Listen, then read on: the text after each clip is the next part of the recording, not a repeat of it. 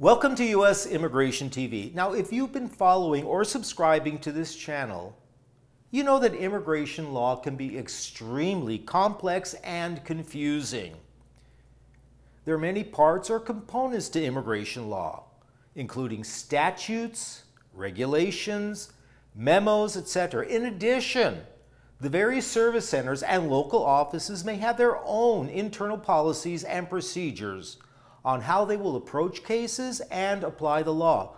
Well, why is this important? So watch this video until the end for the answers and of course don't forget to like, share, and subscribe to this channel. Now anytime a person wants to file a petition, an application, motion, appeal, etc., they must follow those statutes, regulations, and memos.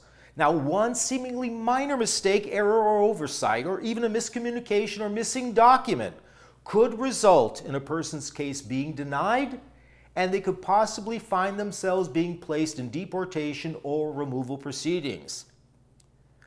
But what are statutes? What are regulations? What are memos? And how do they apply to or affect your immigration case?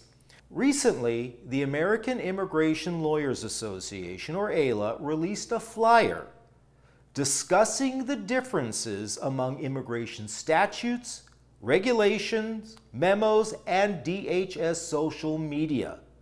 So let's go through them as to what they are, what they mean, and how they apply to your case. Statutes. Under the U.S. Constitution, of course, the Congress has the authority to govern and regulate immigration. States cannot pass laws affecting U.S. immigration. Well, statutes are the laws that are passed by Congress and signed by the President, which provide the rights and obligations under the Immigration and Nationality Act, or the INA. They are binding on the governmental agencies such as DHS, USCIS, CBP, ICE. Regulations. Regulations are basically the applicable governmental agency's interpretation of the statutes that were passed by Congress. The agency, such as USCIS, will set forth the rules on how they will apply the relevant statutes, as well as providing more details on what the statute encompasses and how a person may comply. So if the statutes are considered the bone, regulations provide some of the meat. I'll give you an example. There was a law called Section 245I, which required, among other things, that a person had to be physically present in the U.S. on December 21, 2000. But what does physically present mean? And what are the types of evidence or proof a person can show to establish eligibility. Well, the statute itself was silent on that issue, but the regulations spelled out those details. Now, regulations are typically published in the Federal Registrar, giving people an opportunity to comment, and eventually, if implemented, are again published in the Federal Registrar and put in the Code of Federal Regulations. Regulations have the force of law as well and must be followed when applying for immigration benefits. Policy memos.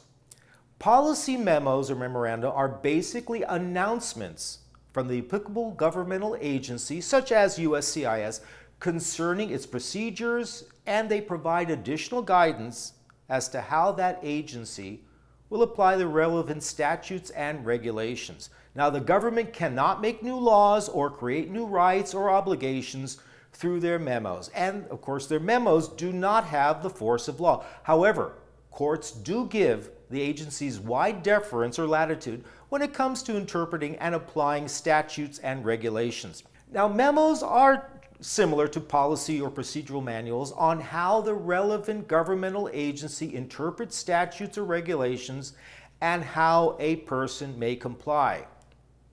Social media. Now, in addition to statutes, regulations, and policy memos, DHS will sometimes announce policies and procedures on their website or via social media. Now, these social media posts do not have the force of law because the government cannot make new laws or create new rights or obligations by way of a media posting or a tweet.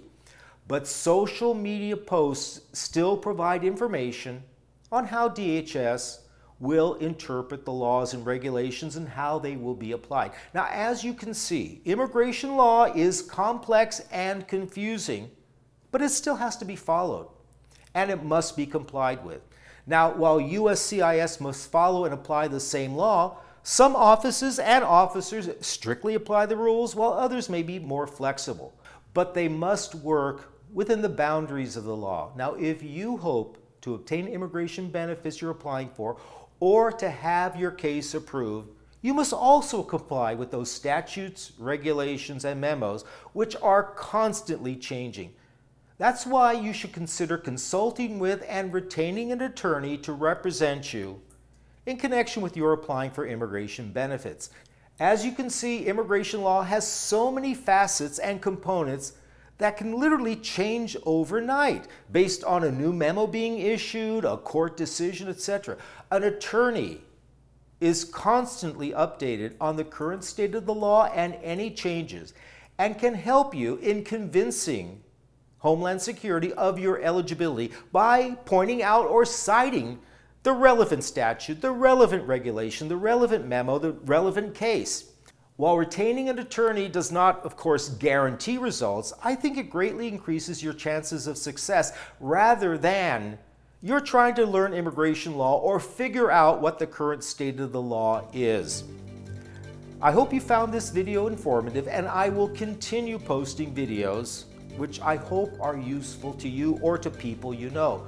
Therefore, make sure to like, share, and subscribe to this channel. I'm Michael Gurfinkel, and thanks for watching U.S. Immigration TV.